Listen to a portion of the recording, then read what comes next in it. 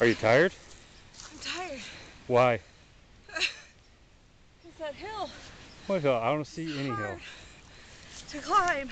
I'm just kidding, folks. Take a look at this.